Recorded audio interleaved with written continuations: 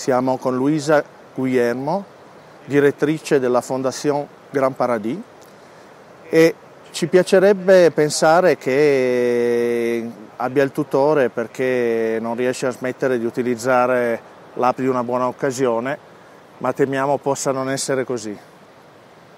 Diciamo che adesso ho anche una mano di riserva, posso andare avanti, ah, non riesco okay. a stancarmi da questa app che è la mia preferita. Questa dà un sacco di informazioni, davvero, è, è, molto utile per tante cose. Voglio andare a vedere l'alimento che è il mio alimento preferito di cui vorrei parlarvi oggi, che è l'acqua. Il posto giusto per avere informazioni scoprire l'acqua è il Parco Nazionale Gran Paradiso, in particolare le cascate di Lilla, a cui vorrei portarvi oggi. Beh, eh, Luisa, eh, ci pare un po' bizzarro parlare di scarsità d'acqua in un posto come questo qua. Sì, sembra davvero assurdo. Siamo a giugno, a 1700 metri, le cascate di Lilla si presentano nella loro forma migliore.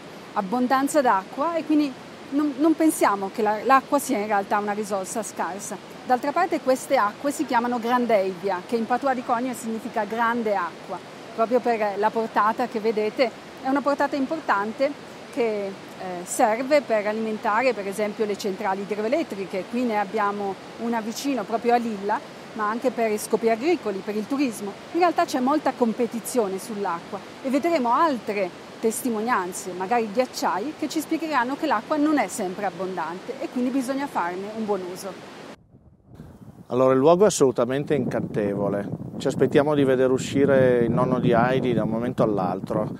Ma esattamente dove siamo? Allora siamo a Gimian, siamo a 1700 metri e alle mie spalle vediamo il ghiacciaio della Tribolazione. È uno dei ghiacciai più belli del Gran Paradiso. Vediamo anche la vetta del Gran Paradiso a 4061 metri. Perché si chiama della tribolazione? Beh, perché come potete vedere ci sono tanti crepacci dei seracchi, è un ghiacciaio ancora molto vivo, molto, eh, molto importante, molto imponente e non è facile attraversarlo e quindi eh, di qui il nome. I ghiacciai sono sicuramente una cartina di tornasole importante eh, che ci indica lo stato di salute del nostro pianeta questo ghiacciaio cambiato molto nel tempo, anche solo a memoria d'uomo, ma in generale i ghiacciai sull'arco alpino eh, dal 1850 ad oggi hanno ridotto eh, la loro superficie della metà e hanno ridotto di due terzi il loro volume. Quindi sono davvero eh, l'indicatore più, più, importante del fatto che eh, dobbiamo fare attenzione perché i cambiamenti climatici stanno portando ad un consumo della risorsa acqua sul pianeta. Ma di fatto si fa qualcosa per tutelare la salute, tra virgolette, di questi ghiacciai? Beh, tutti noi possiamo fare qualcosa perché chiaramente, come dicevo, questi sono indicatori dei cambiamenti climatici e su questi ogni comportamento responsabile del singolo individuo eh, in qualche modo incide.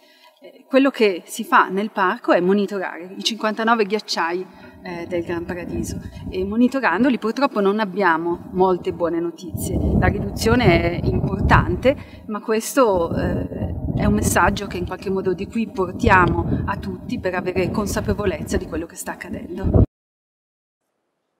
Luisa, finora abbiamo visto cascate magniloquenti, abbiamo visto ghiacciai altrettanto scenografici, ma forse in questo momento un po' in difficoltà, ma abbiamo parlato di acqua sotto l'aspetto quantitativo. Cosa diciamo invece sulla qualità dell'acqua? Beh, eh, la qualità dell'acqua rispecchia quelle che sono le nostre scelte, le scelte di consumo e le scelte di produzione. Abbiamo detto che l'acqua viene utilizzata per esempio per la produzione di cibo e l'agricoltura intensiva, l'allevamento intensivo restituiscono un'acqua inquinata e un'acqua inquinata non consente eh, alla natura di esprimere per esempio questa biodiversità. Io sono seduta in un prato del Parco Nazionale Gran Paradiso eh, e sono circondata da un'enorme varietà di specie botaniche.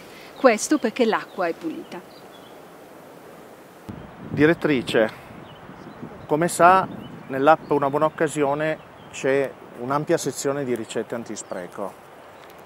E allora volevamo cogliere l'occasione e eh, parlare di cibo dal punto di vista della seduzione. Sappiamo che lei è una donna molto corteggiata e allora le chiediamo, ma se capitasse che un uomo la invitasse a cena e le preparasse un cibo tutto basato sul riutilizzo degli avanzi.